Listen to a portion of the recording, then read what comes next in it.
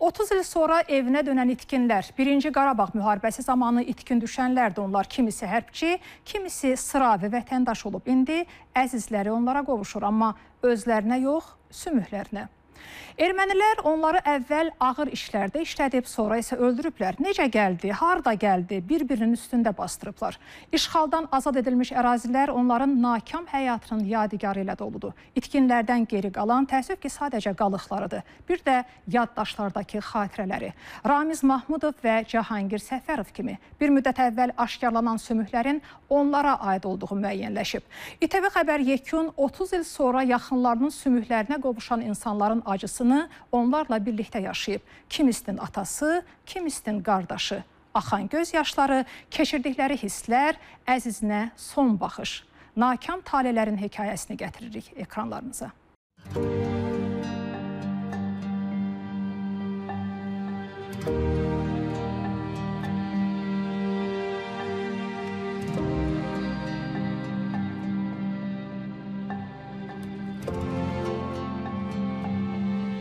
İşğaldan azad olunmuş ərazilərimizdə aparılmış axtarış qazıntı işləri nəticəsində tapılmış meyit qalıqları üzrə Rəhilə xanım sizin qardaşınız Mahmudov Ramiz Mahmudoğlu'nun şəxsiyyəti eyniləşdirilmişdi. Qalıqları tapılmışdı. Onun hansı yerdə, hansı bölgədə tapılmışdı? Qalıqlar tapılıb deməli Tərtər rayonu Seysulan kəndi ərazisində aparılan qazıntı işləri nəticəsində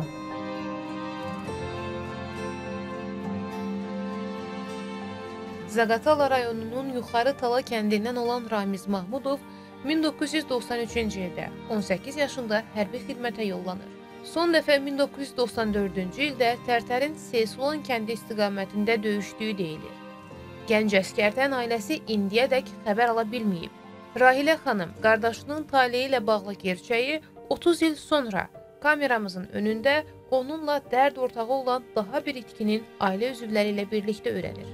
Onlarsa 1993-cü ildə Ağdamın Yusifcanlı kəndində itkin düşən Cahangir Səfərovun doğmalarıdır. Əlbəttə ki, biz arzu eləyərdik, istəyərdik ki, bu itkinlərimizi sağ tapaq, amma müharibənin öz qanunları var. Hər iki ailəyə başsağlığı veririk. Başınız sağ olsun. Gözləyirdi anam həm. Amma təəssüf ki, anam dünyasını dəyişdi. Gözlüyümüz çox yolda qalıbdı. Bugünkü gün atamız gəlibdi. Bütün Allah şəhidlərimizə rəhmət eləsin. Doğmasının nəşinin tapılmasına sevinmək mənə görə çarəsizliyin ən acı ifadəsi idi. Bəlkə də yalnız 30 il gözü yolda qalanlar anlaya bilər. Belə qara xəbərə mən xoşbəxtəm deyə cavab verənlərə. Bir tərəfdən xoşbəxtəm ki, bu qardaşımın nəşi tapılıbdı deyə. Bir tərəfdən də də e, kədərliyəm ki, yəni ki, qardaşım da mənim hər birisini belə tapılandan olsun. Yəni şəhid də olsa, it, itkin də olsa, nə də olsa, sağ da olsalar, hər kəsin gözü yoldan yığılsın. Yəni e, itkin çox ağırdır. Rahilə Mahmudovanın qardaşı hərbçi, Rafiq Səfərovun atası isə mülki şəxs olub. Cahangir Səfərov 1993-cü ildə Ağdamın işğalı ərəfəsində malqara otararkən itkin düşüb. Onun nəşinin qalıqları 2024-cü ildə Xankəndidə tapılıb. Qızılxaş bizə məlumat gəldi ki, atanız əsirlikdədir. Bir il elə bizdən məhdudlaşdı atam. Bir ildən sonra bizə məlumat gəldi ki, atanız rəhmətə gedib. Şuşada olubdu, Şuşa türməsində. Sonra o Xankəndində orada əsirlərlə parlikdə işləyibdi bir müddət.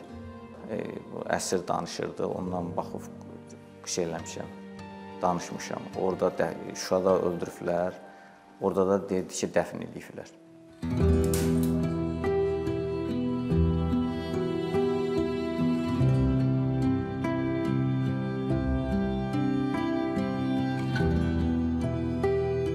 Səhiyyə Nazirliyinin Məhkəmə Tibbi Ekspertiza və Patoloji Anatomiya Birliyində şəhidlərin qalıqları yaxınlarına təhvil verilir. Allah rəhmət eləsin. Şəxsiyyəti müəyyənləşdirilən 7 şəhidimiz son mənzilə üçrəngli bayrağımıza sarılan tabutlarla yola salınır.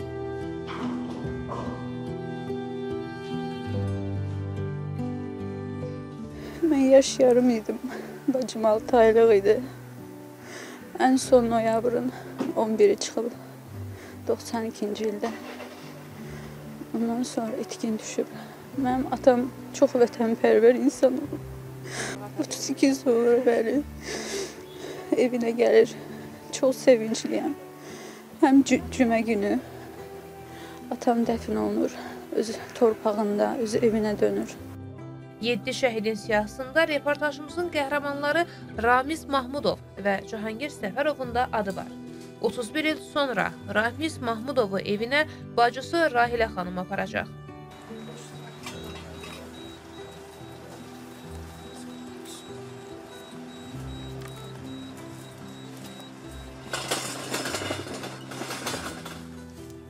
Şəhid Cahangir Səfərovun oğlu Rafiq Səfərov da atası ilə vidalaşmaq üçün oradaydı. Ən son 12 yaşında öpdüyü atasının bu dəfə tabutunu öpərək sağollaşır. Onu evinə, Ağdama aparmaq üçün yola düşürlər.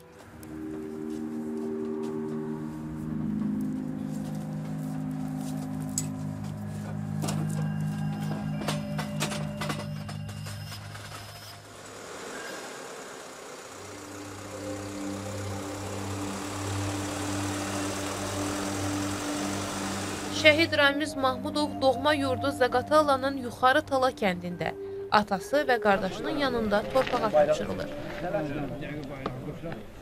30 ildən artıqdır yol gözləyən şəhidimiz nəhayət əbədiyyətə qovuşur. Vətən sağ olsun. Sağ ol. Allah sağ olsun. Şəhid Cahangir Səfərovsa Ağdamın Quzanlı qəsəbəsində Şəhidlər Xiyabanında dəfn edilir. Yaxınları deyir ki, o əsir olduğu bir il müddətində məktublarında Ağdama qayıtmağı çox arzuladığını yazırdı. Arzusu 31 il sonra reallaşdı. Lakin təəssüf ki, özü yox, tabutu doğma torpağına qovuşdu. Ümumilikdə Qarabağ münaqişəsində 3983 nəfər itkin düşüb. Onlardan 6-sı 44 günlük Vətən müharibəsinin şəhidləridir. 1-ci Qarabağ savaşında itkin düşənlərdən indiyədək 162 nəfərin nəşi eyniləşdirilərək ailəsinə təhvil verilib.